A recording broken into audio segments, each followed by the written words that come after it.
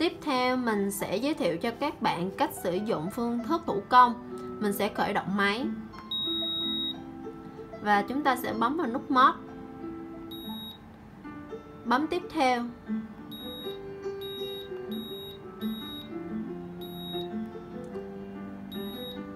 Bấm tiếp theo.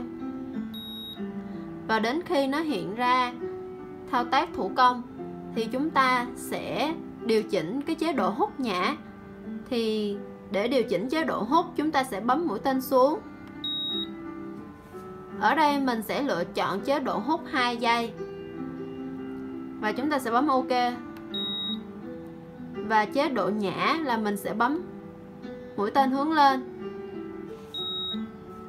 Và ở đây mình cũng sẽ lựa chọn chế độ 2 giây. Và lúc nào cái chế độ hút nhả cũng sẽ ở cái tỷ lệ dây bằng nhau và sau đó chúng ta sẽ bấm ok, máy sẽ chạy. Và chúng ta sẽ điều chỉnh tia hồng ngoại. Cách điều chỉnh tia hồng ngoại cũng sẽ giống như cách sử dụng phương thức độc lập. Và cuối cùng là chúng ta kết thúc.